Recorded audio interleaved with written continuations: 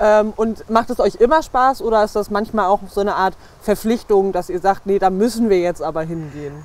Ja gut, das spielt natürlich, das Wetter spielt eine Rolle. Nicht? Also wenn das jetzt so ein Wetter ist wie heute, äh, da kommt jeder gerne in dieser Kleidung hierher. Ähm, wenn es dann kurz vorm Ende regnet und man seine ganzen Sachen äh, nass nach Hause bringt und zu Hause alles ausbreitet, macht es weniger Spaß.